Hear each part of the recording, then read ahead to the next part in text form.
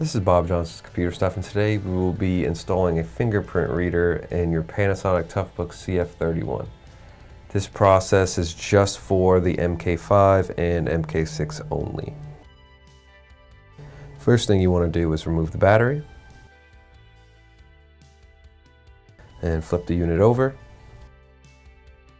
So you want to remove all the screws and the bottom plate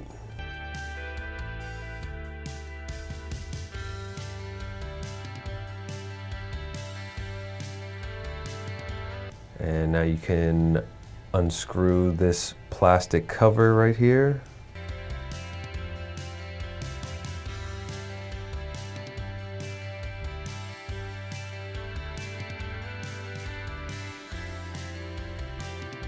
And now you want to remove the speaker cover and get that speaker out of the way.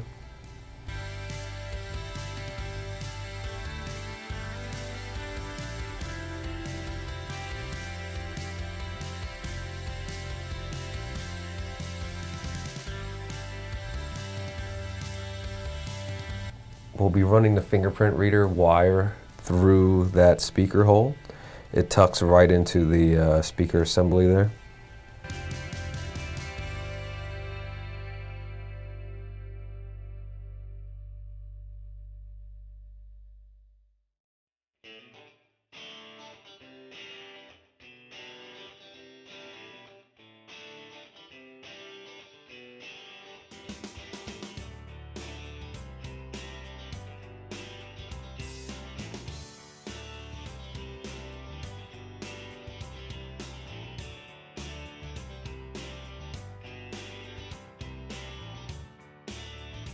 And then that's it. You want to put everything back together.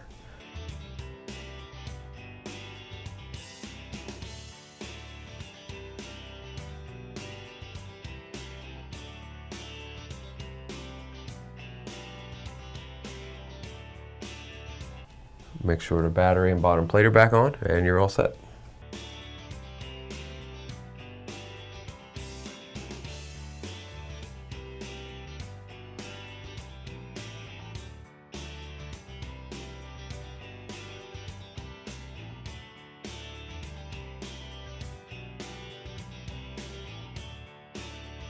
It's like, again, this is just for the MK5 and MK6. Thank you for watching. Any questions or comments, you can leave them below.